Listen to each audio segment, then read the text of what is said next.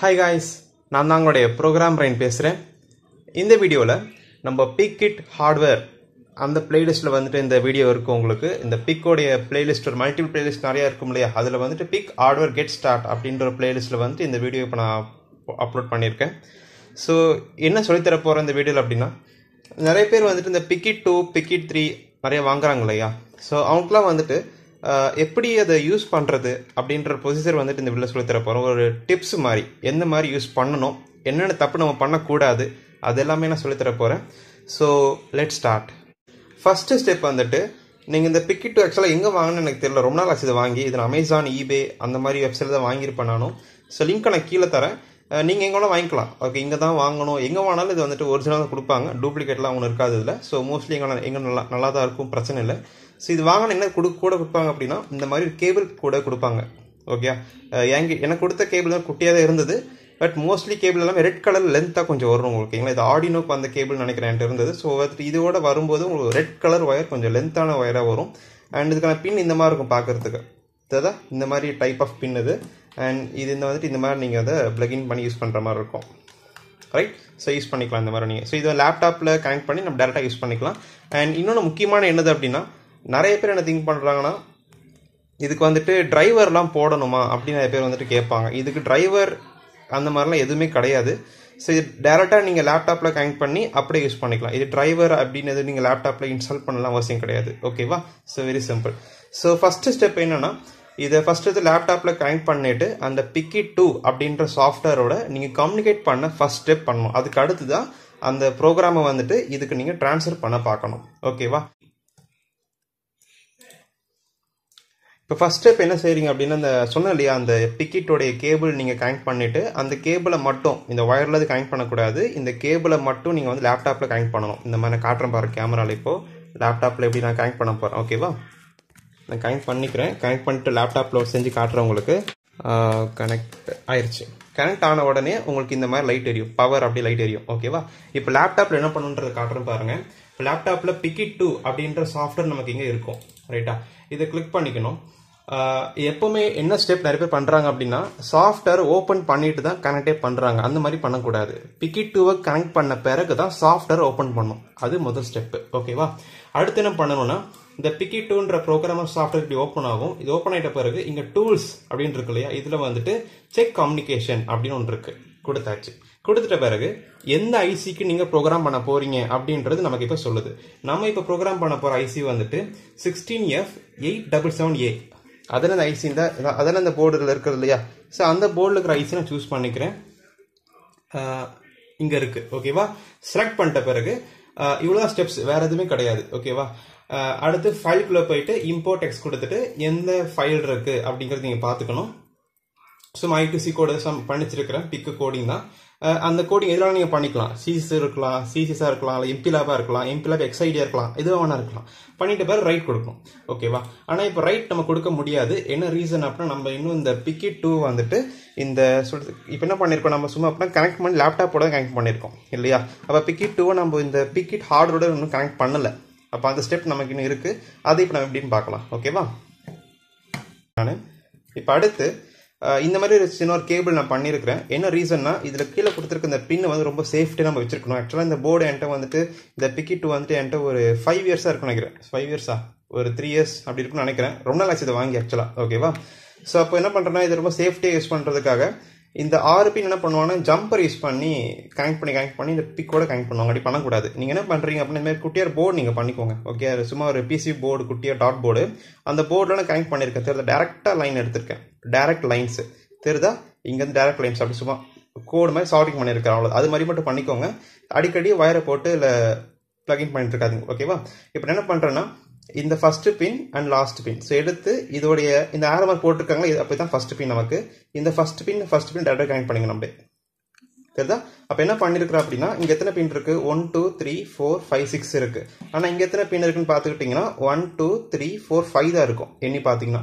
அப்போ லாஸ்ட்டாக இருக்கிற இந்த பின் இந்த பின் லாஸ்ட்டாக அந்த பின் இருக்குல்ல இந்த பின் நீங்கள் யூஸ் பண்ண தேவையில்லை. நோ நீட் ஓகேவா அது என்ன ரீசன் அது ஆக்சிலரின்னு சொல்லுவாங்க. அந்த பின் நீங்கள் யூஸ் பண்ண தேவையில்லை. ஸோ அந்த லாஸ்ட்டாக இருக்கிற ஒரு பின்னை மட்டும் விட்டுட்டு இந்த பின்னை நீங்கள் அப்படியே கனெக்ட் பண்ணிக்கணும். கனெக்ட் பண்ணிட்டேன். இப்போ நல்லா பார்த்துக்கிட்டிங்கன்னா இந்த ஃபஸ்ட்டு பின்னுடைய பின் டயக்ராம் என்னது அப்படின்னா இது வந்துட்டு எம்சிஎல்ஆர் சொல்லுவாங்க. இந்த ஃபஸ்ட்டு பின் இதில் வந்து ரீசெட்டு அடுத்து விசிசி அடுத்து கிரவுண்டு அடுத்து பிஜிசி பிஜிஎம் இந்த ரெண்டு கடைசிக்கு இந்த நாலாவதும் அஞ்சாவது பின்னு தான் ப்ரோக்ராம் பண்ணுற பின்னு அதுக்கு முன்னாடி இருக்குது அதுக்கப்புறம் இருக்கிறது கிரவுண்டு விசிசி எம்சிஎல்ஆர் இதில் முக்கியமான எப்பின் என்ன சொல்லுவாப்புல என்னோட என்னோட இது வந்துட்டு டிப்ஸ் வந்துட்டு இந்த பிக்கிட்ல இருந்து நீங்கள் பவரை பிக்கிட் டூக்கு இந்த பிக் கண்ட்ரோலர் கொடுக்கக்கூடாது எப்போவுமே. அது தப்பான பொசிஷன் அது. கொடுக்கக்கூடாது அப்போ நீங்கள் என்ன செய்யணும் அப்படின்னா ஸோ இப்படி கனெக்ட் பண்ணும்போது நீங்கள் பாருங்கள் நல்லா. இப்படி கனெக்ட் பண்ணிட்டேன் தெரியுதா? இப்படி கனெக்ட் பண்ணிட்டேன். ஸோ எம்சிஎல்ஆர் ரீசெட் பின்னுக்கு ஒரு ஒயர் எடுத்திருக்கேன். அப்புறம் கிரவுண்டுக்கு ஒரு ஒயர் எடுத்துட்டேன். பிஜிஎம் பிஜிசிக்கு ஒரு ஒயர் எடுத்திருக்கேன். ஆனால் நடுவில் இருக்கிற அந்த பின்னை விட்டுட்டேன். ஏன்னா இது விசிசிக்கான பின்னு அந்த பின் எடுக்கல நான். அப்போது இந்த இந்த பிக்கிட்டோடைய எம்சிஎலாக கனெக்ட் பண்ணியிருக்கிறேன் கிரவுண்டை கனெக்ட் பண்ண போகிறேன் அப்புறம் பிஜிஎம் பிசி கனெக்ட் பண்ண போகிறத வந்து விசிசியை கனெக்டே பண்ண போகிறது இல்லை இதான் அதனால் ஸோ நம்ம வந்துட்டு இந்த பிக்கு போர்டுக்கு செப்பரேட்டாக அடாப்டர் யூஸ் பண்ண போகிறோம் அந்த அடாப்டர் இந்த மாதிரி தான் ஓகே தான். டுவெல் வோல்ட் ஒன் ஆம்ஸ் இருக்கிற அடாப்டர் ஓகே தான். நீங்கள் என்றைக்குமே வந்துட்டு இதுலேருந்து பவர் சப்ளை கொடுக்குன்னு மட்டும் பண்ணிடாதீங்க அது ஒர்க் அவுட் ஆகும் எப்போயாவது ஒர்க் அவுட் ஆகும். ஓகே அது பண்ணிட வேண்டாம். இப்போ அடுத்த ஸ்டெப் என்ன பண்ணுறீங்கன்னா என்ன சொன்னேன்? எம்சிஎல்ஆர் விசிசி நான் யூஸ் பண்ணல. கிரவுண்டு பிஜிஎம் பிஜிசி இன்னும் அப்படி டேரெக்டாக இங்கே கொடுத்துருப்பாங்க. நல்லா பார்த்தா தெரியும் உங்களுக்கு.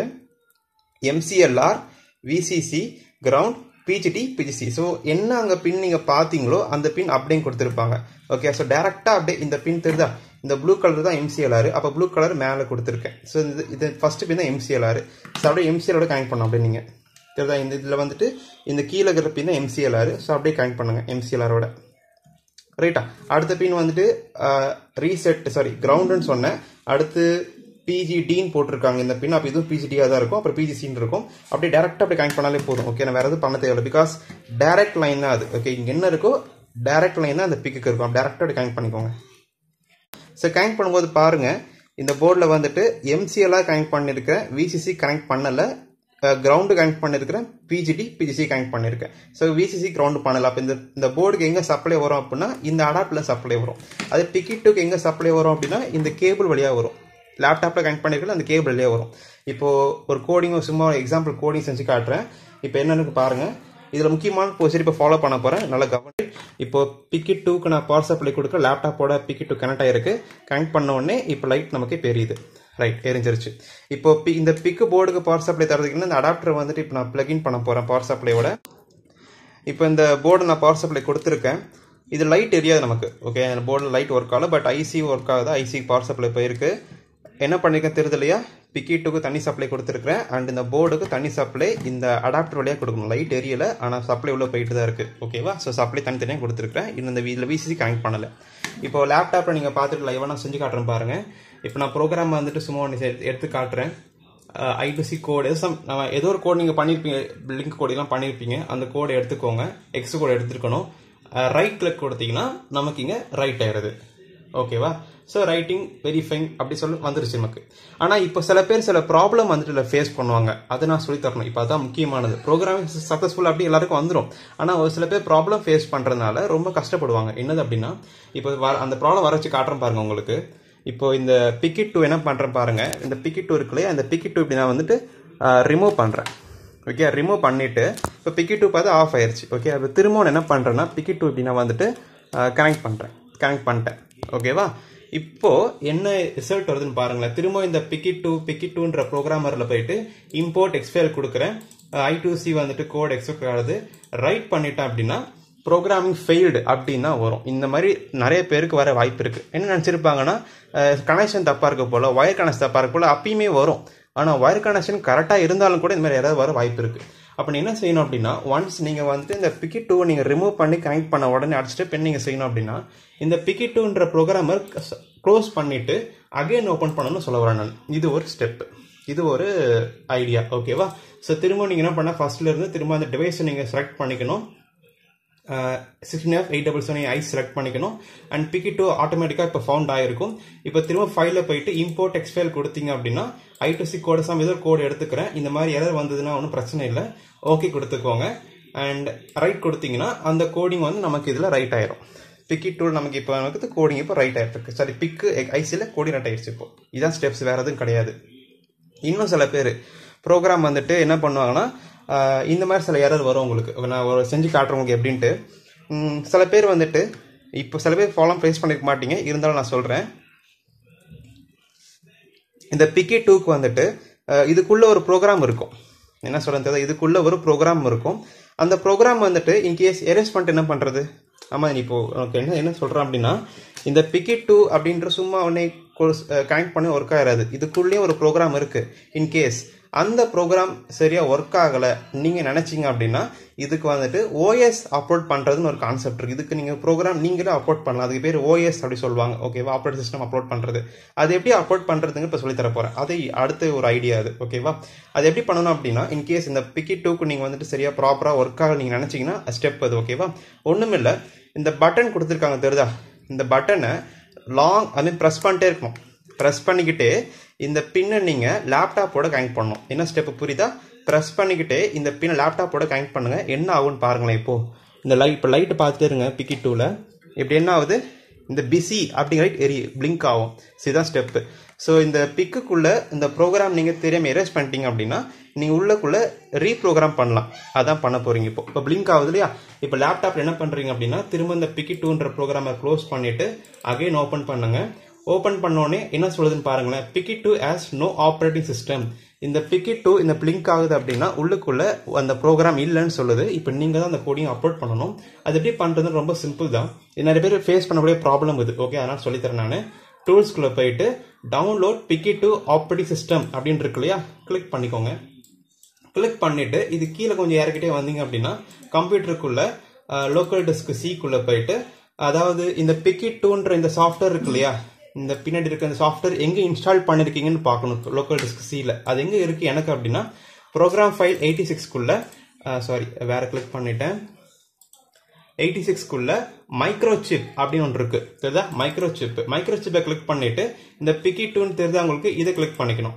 இதுக்குள்ள இந்த PK two V zero two three two double zero இதான் ஓஎஸ் ஃபைலு இதான் இதோடைய ஓஎஸ் ஓகே இதை டபுள் கிளிக் பண்ணிக்கோங்க வேலை முடிஞ்சிருச்சு. ஸோ அந்த ஓஎஸ் வந்துட்டு ரீப்ரோக்ராம் ஆகிட்டு இருக்கு இதுக்குள்ள. அவ்வளோதான் வேற ஒன்றும் இல்லை. ஸோ இந்த ஸ்டெப் நீங்கள் பண்ணிட்டீங்க அப்படின்னா அந்த ஓஎஸ் போடணும் அப்படிங்கிறது அதுவே போட்டுக்கும்.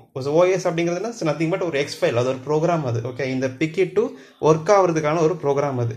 இப்போ நல்லா பார்த்துக்கிட்டிங்கன்னா அந்த பிக்கெட் இப்போ ஃபவுண்ட் ஆயிடுச்சு பழையபடி வந்துருச்சு இப்போ. இப்போ பழையபடி நீங்கள் இந்த பிக்கெட் இந்த பிக் இதை வந்துட்டு எடுத்து டேரெக்டாக இப்படி நீங்கள் கனெக்ட் பண்ணிவிட்டு பழையபடி செஞ்சு காட்டுறேன் இப்போது திரும்ப கனெக்ட் பண்ணிவிட்டு டூல்ஸில் போயிட்டு செக் கம்யூனிகேஷன் கொடுத்துக்கும். கனெக்ட் ஆயிருச்சு. இப்போ டிவைஸை நீங்கள் வந்துட்டு இப்போது கொடுங்க இப்போ. எந்த டிவைஸ் அப்படின்னா sixteen F eight double seven IC நான் கொடுத்துக்கிறேன். ஃபைலுக்குள்ளே போயிட்டு அந்த சேம் ஏதோ ஒரு கோடிங் எடுத்துக்கோங்க. எடுத்துட்டு ரைட் பண்ணிங்கன்னா சக்ஸஸ்ஃபுல் ரைட் ஆயிடுச்சு ஸோ நிறைய பேருக்கு நிறைய எரர் வரும். டிக்கெட் யூஸ் பண்ணுவோம் சில பேருக்கு நோ டிவைஸ்லாம் எரர் வருது இல்லையா? அந்த மாதிரி ப்ராப்ளம் எங்கே இருக்குது அப்படின்னா இதுதான். இந்த ஒயர் கனெக்ஷன் சரியாக பண்ணோன்னா அந்த எரர் வரும். பட் இப்போதைக்கு மூணு எரர் சொல்லி கொடுத்துட்டேன். ரெண்டு சாரி ரெண்டு எரர் சொல்லி கொடுத்துட்டேன். ஒரு er-, ஒரு எரர் வந்துட்டு ப்ரோக்ராம் ஃபெயில்ட் அப்படின்ற ஒரு எரர் வரும். அடுத்து வந்துட்டு ஓஎஸ் எப்படி அப்லோட் பண்ணுறது அந்த சில ப்ராப்ளம் ஃபேஸ் பண்ண அதையும் சொல்லி கொடுத்துட்டேன். மூணாவது இருக்கிற முக்கியமான ப்ராப்ளம் என்னென்னா டிவைஸ் நாட் டிடெக்டட் அப்படின்னு சில எரர் வரும். அது ஒன்றும் இல்லை. இந்த பிக்கி டூ வந்துட்டு இதோட சரி நீ கனெக்ட் பண்ணலை அப்படின்னு தான் அர்த்தம் அதுக்கு. நோ டிவைஸ் ஃபவுண்ட் அப்படின்னு வந்துச்சு அப்படின்னா இந்த பிக்கெட் டூவோ பிக்கெட் த்ரீயோ இந்த ஒயர் கனெக்ஷன் சொல்கிறேன் இல்லையா? இந்த கனெக்ஷன் வந்துட்டு இந்த நாலு பின் கனெக்ஷன் வந்துட்டு சரியாக பிக்கெட் அந்த பிக் கண்ட்ரோலருக்கு போகலை கனெக்ட் பண்ணலை ஒயர் சம் ப்ராப்ளமாக இருக்குன்றது தான் அதுக்கு அர்த்தம். ஸோ வேற ஒன்றும் கிடையாது. ஸோ ஏதாவது நீங்கள் ஏதாவது ப்ராப்ளம் ஃபேஸ் பண்ணீங்க அப்படின்னா கண்டிப்பாக என்கிட்ட சொல்லுங்க. அதுக்கான வீடியோஸ் கண்டிப்பாக அப்லோட் பண்ணுறேன் இந்த வீடியோ பிடிச்சிருந்தா லைக் பண்ணுங்கள் ஷேர் பண்ணுங்கள் சப்ஸ்கிரைப் பண்ணுங்கள் அண்ட் மேலும் உங்கள் டவுட் ஏதாவது இருக்குது அப்படின்னா கண்டிப்பாக நீங்கள் டெலகிராம் குரூப் இருக்குதுக்குன்னு நீங்கள் ஜாயின் பண்ணி உங்கள் டவுட்டை நீங்கள் என்கிட்ட கேட்கலாம். அடுத்த way from program and have nice guys bye